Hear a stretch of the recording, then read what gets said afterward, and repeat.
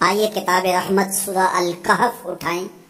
अल्लाह ताला ने एक वाक्य बयान किया है, हज़रत मूसा और हज़रत खजर सलाम का, कि हज़रत मूसा सलाम अज़म मुसम्मम करके जब चले तो अल्लाह फरमाता है कि हमने हज़रत मूसा सलाम को जिस बंदे की निशानी बताई थी, वो बंदा उनको वहाँ मिल गया। सफ़ेद चादर ओढ़े, हज़रत खजर सलाम वहाँ लेटे हुए थे। तो ये जाके उनके पास खड़े हो गए।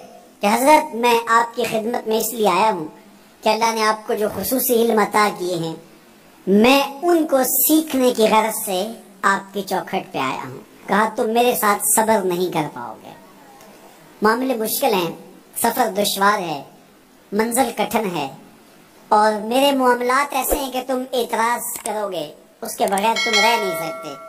हज़रत मूसा इस्लाम ने कहा, अगर अल्लाह ने चाहा तो आप देखेंगे, मैं सब्र करूँगा। और आपके किसी हुक्म की, किसी काम की, मैं नाफरमानी नहीं करूँगा, किसी काम का इनकार नहीं करूँगा। कहा कि अच्छा शर्त यह है कि जो मैं करूँ, उस पर तुम इतराज नहीं करोगे, सवाल नहीं करोगे।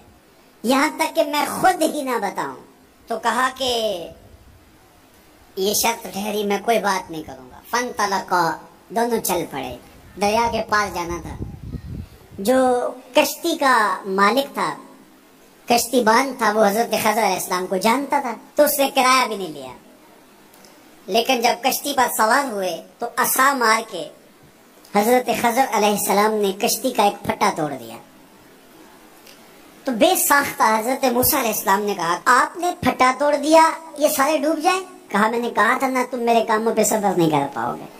तो हज़रत मूसा को याद आया, कहा, मैं भूल गया था, इस पर मुआवजा न कीजिए। फिर दोनों चल पड़े।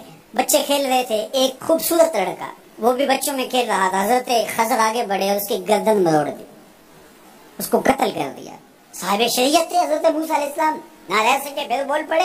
एक जान को बगैर किसी जान के बदले में कत्ल कर दिया। इसने गवाया क्या था हमारा?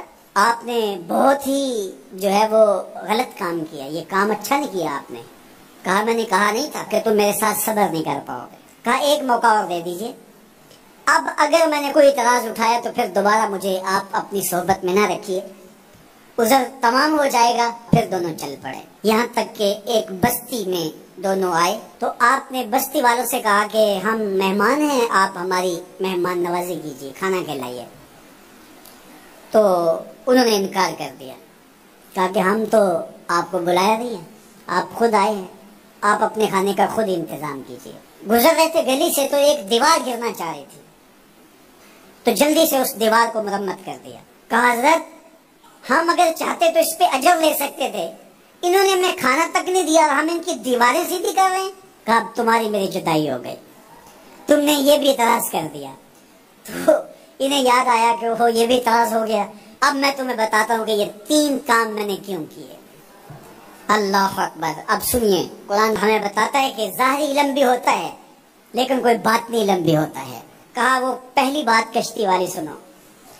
ये दो मिस्कीन बच्चों की कश्ती थी। उनके घर का चूल्हा इसकी कमाई से जलता था। दरिया किनारे किनारे एक जालिम बादशाह रहा था, जो लोगों की कश्तियाँ छीन रहा था। हमने थोड़ा सा ऐब लगा दिया, वो टूटी कश्ती छोड़ के चला गया। अब वो थोड़े से पैसे लगा के कश्ती मरम्मत करा लेंगे, घर का चूल्हा जलता रहेगा। बताओ अच्छा किया या बुरा किया? कहा रही बात उस बच्चे की, जिसको हमने कत्ल किया। उसके माँ बाप मोमिन थे, नेक थे, साले थे। बच्चे ने बड़ा होकर बहुत बुरा होना था। हमने इसको कत्ल कर दिया।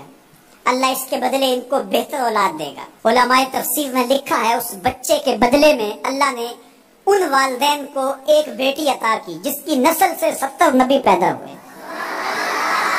दीवार की कहानी भी सुन लीजिए। ये शहर के दो यतीम बच्चों की दीवार थी, और इसके नीचे उनका खजाना था, और उनका बाप बड़ा नेक था। खजाना दीवार के नीचे है, दीवार गिरना चाह रही है, किसी मामूली धक्के से गिर जाती। दो ही सूरतें थी, या वो बच्चे खुद अपना खजाना उठा लेते, या लोग उठा के ले जाते। लोग उठा के ले जाते, फिर भी हाथ में कुछ ना आया। और अगर वो खुद उठा लेते तो बच्चे हैं, बचपने की वजह से वो उसको उड़ा देते। तो हमने उसके ऊपर दीवार खड़ी कर दी। जब तक वो इस काबिल नहीं हो जाते कि ये खजाना निकाल के उसको सही मसरफ पे लगा सके, उतनी देर तक दीवार गिरेगी नहीं। अल्लाह अकबर, वो किसी वजह से दीवार कायम रहेगी। और जब वो उस उम्र को पहुँच जाएँगे, जिस उम्र में वो इस खजाने को संभाल सकेंगे तो फिर दीवार खुद ब खुद गिर जाएगी और ये खजाना निकाल करके अपने काम पे ले आएँगे। मैं जब पहली मरतबा इसको जो है वो गौर के साथ तिलावत किया तो मुझे ये लगा कि इसका इंतबाक पाकिस्तान के हालात पे भी हो सकता है। इसलिए कि ये भी यतीमों का सरमाया है। कितने यतीम रोते बिलकते रह गए और उनके सर से जो है वो साए उठ गए इस वतन के लिए। लेकिन मेरे मालिक ने इस मुल्क के खजानों पर गहरे पहाड़ और बड़ी बड़ी दीवारें खड़ी कर दी हैं। जब तक ये कौम बलूगत तक नहीं पहुंचेगी, उतनी देर तक वो खजाने ज़ाहिर नहीं होंगे।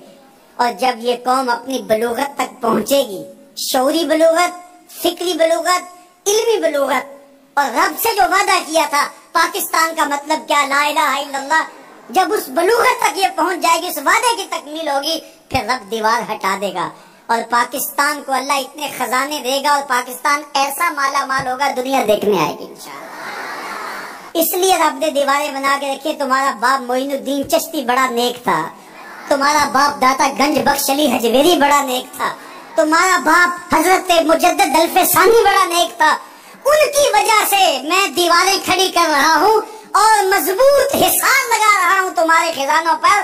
और वो वक्त आएगा जब तुम बलूगत की उम्र को पहुंचोगे। दीवारें हट जाएगी और तुम्हारा वतन जमाने पे महकते फूल की तरह और चमकते सितारों की तरह और रोशन आफ्ताब की तरह चमकता और महकता दिखाई देगा और जमाना पाकिस्तान देखने आएगा। पाकिस्तान दुनिया की क्यादत करेगा, इंशाल्लाह। तो कहा, ये तारील है उन बातों की जो बातें मेरे रब ने मुझे बताई और ये मैंने अपनी मर्ज़ी से नहीं कही और जो मैंने किया अपनी मर्ज़ी से नहीं किया। तो ये बातें बातें हैं। शायद ये बातें बातों के जोश में ये बात भी मैं कर गया। वो क्या किसी ने कहा था कि भरी महफिल में एक राज की बात कह दी। बड़ा बेअदब हूँ, सजा चाहता हूँ।